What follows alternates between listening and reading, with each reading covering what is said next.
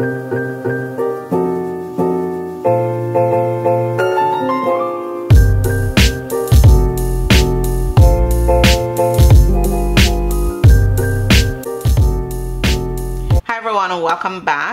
if you're new here welcome. Today i'm going to be showing you guys how i do my highlights and contour for the summer. I'm doing it a little bit different. Hope you guys enjoy it and if so don't forget to give me a big thumbs up. And also if you're not already subscribed please go ahead and hit that red subscribe button right below this video. Don't forget to turn on the little bell beside the word subscribe. Just gonna notify you as soon as i do an upload. Now let's get into the video. For my primer today i'm using the ordinary high adhesive primer. Did review on this primer so I'll link it below if you guys want to see um, a full review of this. Then I went ahead and used this cocoa butter and shea butter for extra dry skin. And even though I don't have extra dry skin I have oily skin but I love this moisturizing lotion. And I love it for my face and I love it for my body as well. I'm also using this Garnier Skin Active Moisturizing Balm. It has an SPF of 30 so that is pretty good. You always want to make sure that you're using a really high SPF in the summer. That's everything that is on my face as of now. You guys know my brow routine. If you don't, I'll link it in the description box so you can check it out if you're interested. But just to save some time on the video, just skip that.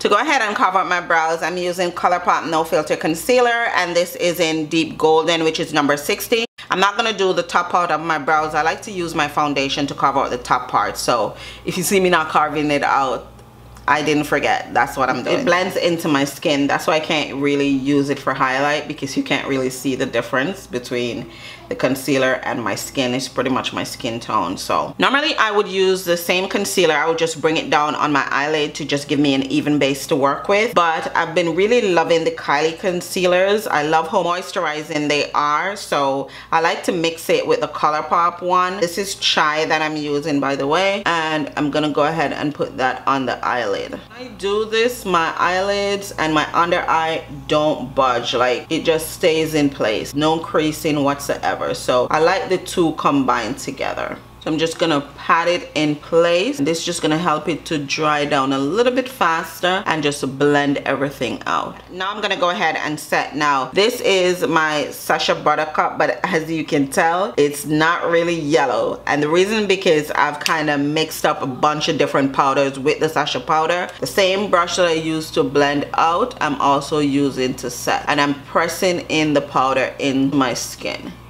See how nice that sets? It doesn't even look like I have on powder.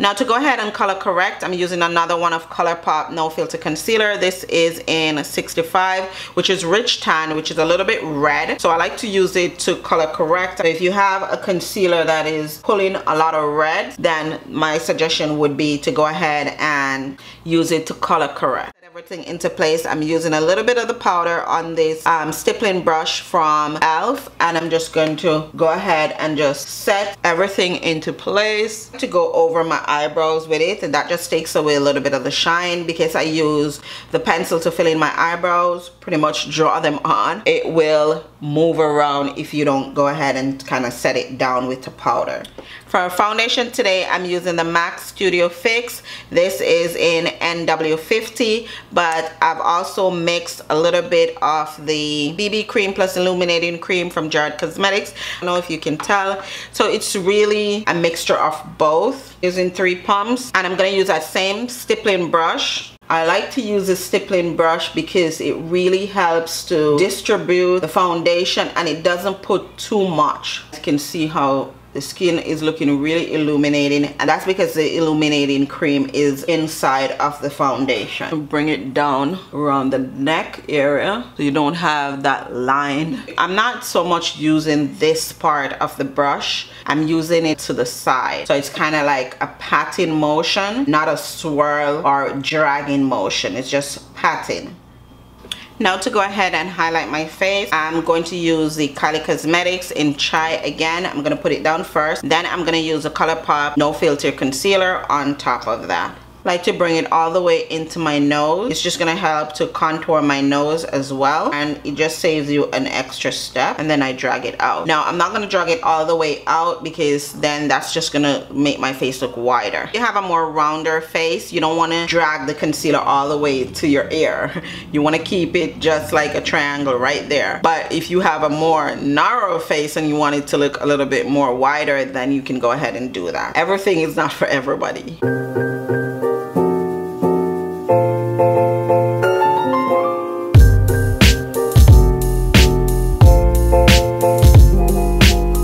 Now because I want my under eye to be a little bit brighter than the rest of my face, I'm going to use Colourpop Golden, which is number 40. I'm not going to drag it all the way out and I'm going to put it down my nose. I'm not going to put it anywhere else. I basically keep it into the inner part of my eye, there where I want the light. For contour, I'm using another one of Kylie Cosmetics and I'm using Taffy. And I'm also gonna go a little bit into my temple there. The reason you're pulling up because you wanna lift those cheekbones. And then I'm gonna go around my forehead. With the jawline, you wanna pull down because you wanna get rid of that double chin.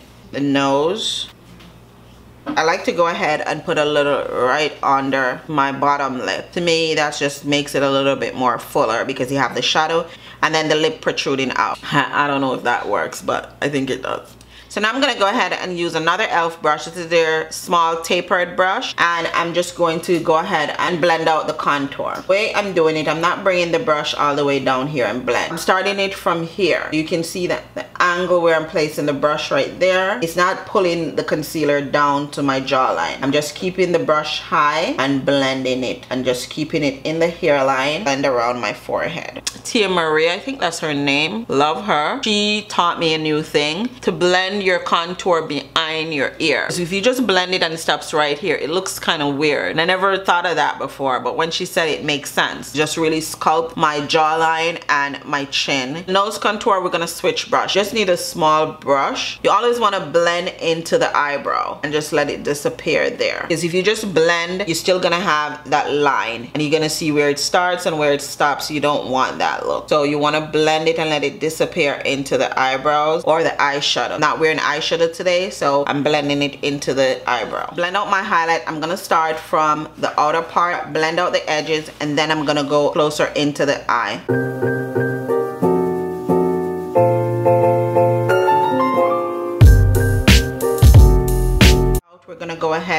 Set. So you want to look down but you want to open up eye and I'm pushing it into the skin. Make sure again that the under eye is not crease before you put your powder else it's just gonna set like that and you won't be able to get get it out. And I like to bring it close to the nose to shape out the nose contour again. This powder mixture is just so flawless so smooth. Doesn't take away from the highlight shade. Make sure that I set around my smile lines. I do crease there a lot. Just keep it right in the middle there. Then to cut the contour you're gonna go under the contour right into the airline. I'm not pulling it down too low. Go down the middle of the nose. Then I like to take a big fluffy brush and just coat the entire brush dust that off and just go over the rest of the face with that same powder. And I don't want my bronzer to look too defined. For contour, I'm using Cool Tan. you can see I hit pan already. I'm using Cool Tan